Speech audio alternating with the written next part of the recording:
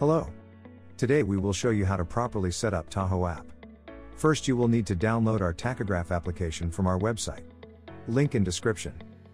Extract all files and launch Tacho application.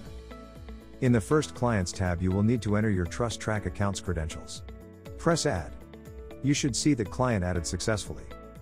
Next, connect your OmniKey company card reader to computer and insert your company card inside it. In Cards tab you should see no label field. Double click on it and rename it with your company name. Press Enter. You should see created company card in the table. Go to Assignments tab. Select your created company card and client from the list. Press Assign. You should see that assignment was successful. To check if company card was linked with our TrustTrack server, log into your account and go to Tachograph Files Download tab.